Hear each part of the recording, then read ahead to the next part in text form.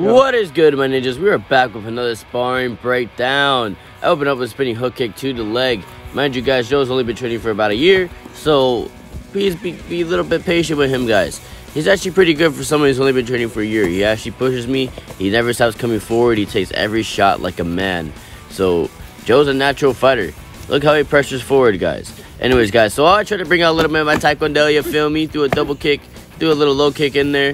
Um, but guys, especially when you're a little bit more experienced than someone, you need to learn how to play with them. That's why I have my hands down. You're not supposed to just go out there and beat the crap out of someone who you have like five, six years experience on. You know, that's not fair. Anyways, I threw a little switch hook there. Uh, anyways, guys, right here, I threw a little jab. He slipped my first jab, but then I proceeded to throw another jab, body shot in the hook. So that's a classic jab cross hook.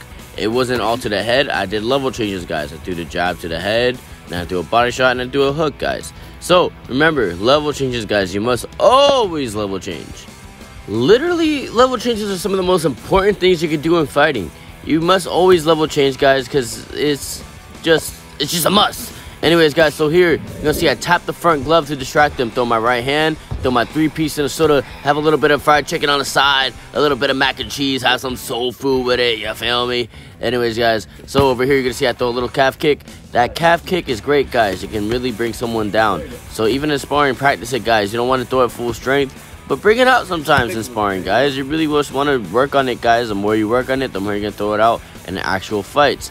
Me being a little bit cocky with my hands down again. Do my double kick, guys. Um, again, threw a little bit of my taekwondo in there. Right here, guys, I back up. I go a little bit off the angle and just throw my left uppercut right there. Because he's coming straight oh. forward. Now, to begin round number two, guys, you're going to see I'm going to be a little bit playful in the beginning. I throw two round kicks in my uh, southpaw stance. Uh, a little side kick, guys. Now I'm going to throw a little hook kick into a round kick. You know, guys, just playing around at first, guys. Just uh, having a little bit of fun out there. You see Joe's doing a pretty okay job at pressuring forward, keeping the pressure on me. No matter how many times he gets hit, he's still to keep coming forward because Joe's a fighter. He don't go, fuck. He to keep coming forward. Right here, guys, I threw a double hook there uh, just to come in. And right here, guys, so I set this all up off of my round kick, off of my low kick, guys. So when I throw my low kick, it's actually to bring me out on an angle to his side. From there, I have my right hand shot right there. Throw that round kick, throw that right hand right after. You're to have the angle for that right hand, guys, most likely. Um, obviously, there's counters and defenses for everything. However, that is also a pretty good defense. Right here, guys, you know, I'm coming forward, guys, just trying to get my distance. Throw my double hook again. So I come forward, throw my right body shot, throw my hook. I kind of missed that one. Then I throw my hook right here and get out the way. I got out the way at the shot, guys. You must always get out the way. Don't just stand there. Don't just watch your work. You watch your work, you got to get caught and knock the frick out. And nobody wants to get knocked the frick out, right? Right here, I got hit in the nuts, but I try not to show it. It did hurt. I did want to cry. I did want to fall, but it happens. Right here, guys, I faked a low kick. It came up top with like kind of an axe kick. Just landed on his face. Didn't do anything too crazy because I didn't want to hurt him. Um, again, guys, it's sparring. You're not out here to break each other's noses. You're out here to learn. So, if you're going to throw a kick like that, guys, make sure to control your power. Always control your power, guys. Please, please don't break each other's face. Right here, I did a mistake of throwing, like, you know, round kicks in my right leg a little bit too much. Uh, popped out my side kick. Had to keep him off of me. Sometimes people want to pressure forward. You got to hit that side kick. Went for also an outside sweep, outside trip, but I failed. I failed miserably. Come on, Albert, what are you doing? He went for a little switch jab there, almost got me there. So I was like, let me return the favor. Let me throw a little switch hook right back at you, buddy. And I threw that round kick, and I missed the round kick, but it is what it is, to be honest. Uh, right here, uh, another, again, switch. I got this from Duane Ludwig. Switch appeared, and I throw my left hook on the outside. So that's how you guys want to beat your opponent, guys. Create angles, confuse them. Don't let them know exactly where you're standing. Because if they know where you're standing, if they know exactly what you're about to do, you're going to fail. Um, anyways, guys, Three, so it was the last two, 10 seconds, so I put one. my hands down, try to work my defense. Probably something silly for me to do. This is the beginning of round number three. This is a good little round also, guys. Again, Joe has a ton of heart, bro. Much much respect to Joe for even coming out there and being part of my videos. Uh, but anyways, guys, so here I throw a double fake with my lead leg. Double fake, make him react. He skits back. I make him react my double fake, throw my low kick right after that. Heavy low kick, guys. Uh, sometimes you could fake with your legs too, guys. Again, right here, I faked in my legs so I can go forward and land my shots. Faked my right kick. He shoots down to think that I'm going to, you know, he was thinking I was doing a body shot.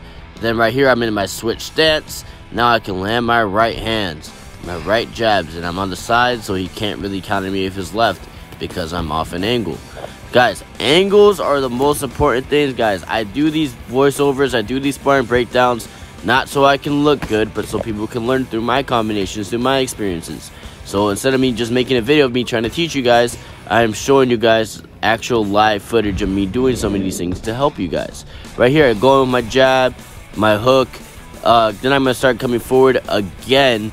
I'm to do kind of like a skip hook. I missed that one, but I'm able to land my right hand at the end, guys. So, my point here, guys, is to attack on combination, guys. Don't just throw one shot. Throw two, three shots, guys. Throw them quick, throw them strong.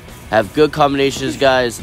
So here, if you guys take notice that I like to go in and out between my guard and uh, having my hands loose. I don't know why, it's just how I'm comfortable fighting. So also, guys, here, keep note, I didn't stumble this part, but I end off a lot of combinations of low kicks especially in kickboxing, guys. That could really help you guys. Enough for combination low kicks. Mix your punches with your kicks. Mixing your punches with your kicks are one of the best things you can do. Again, guys, I do a fake low kick, come back over with kind of a hook kick. I didn't really do the hooking motion, because I wanted to stop the power at the top. Um, do another double kick, guys. Double kicks are some of the best ones for me to throw. So, double kick right there. Now I got him thinking about my right leg because I just threw it to his body. So, I'm going to lift up that right knee and make him think I'm throwing a shot. But then I'm going to come over the top with my right jab and then circle back out. That again, guys, you can fake with your legs, guys. You can fake, you can do feints with your hands and throw feints with your legs, guys. It goes hand in hand. You guys can do both. So anyways, guys, we're going close to the end of this round. Make sure you guys like, comment, subscribe. Make sure you guys share with your friends. If you guys don't, I'm a box your mama. I'm a box your auntie. I'm a box your daddy, your auntie, your grandmama, whoever. I'm gonna box all of them. Show them about their house, and I'm gonna box them. And then last of all, I'm gonna box you. So please subscribe, or you're gonna get these hands. Ninja is Fine. out. USA.